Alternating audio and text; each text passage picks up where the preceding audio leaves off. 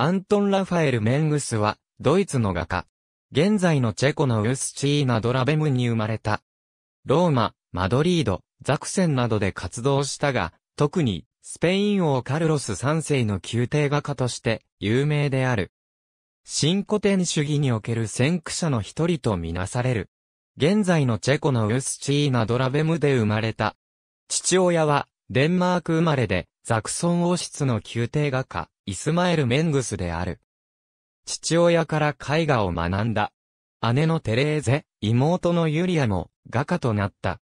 1741年から1744年の間、父親とローマに住み、巨匠たちの作品を学んだ。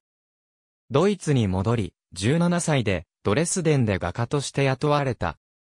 1746年に再び、ローマを訪れ、カトリックに改宗し、イタリア女性と結婚した。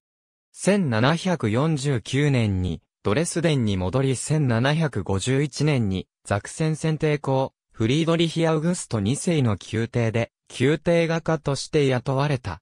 1751年に、ローマに行き、サンルカアカデミーの会員に選ばれた。1755年に新古典主義の理論的支柱となった美術史家のヨハン・ヨアヒム・ビンケルマンと知り合い、大きな影響を受けた。メイングスはロココ様式を離れ、新古典主義の先駆者の一人となった。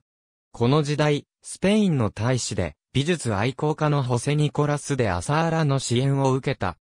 1755年に、ローマ教皇クレメンス13世から、カバリエーレ・ディスペランドーロの称号を受け、1759年にナポリに旅し、王族の肖像を描いた。ナポリ王、シチリア王であったカルロス3世がスペイン王を継ぐためにマドリードに移ると、メングスはローマに戻り、数奇教アルビニ邸にフレスコ画を描いた。この作品はドイツ古典主義の重要な作品となった。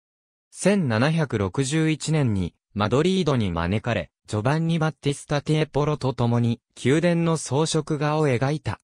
この頃ビンケルマンと対立し、二人の友情は終わった。その後、またローマに戻り、バチカンから報酬を受け、アカデミア・ディ・サン、ルカの会長に任じられた。1772年スペイン王の命令で、マドリードに戻り、若き日のフランシスコ・デ・ゴヤの才能を見出し支援した。病気でローマに戻り、ローマで没した。ありがとうございます。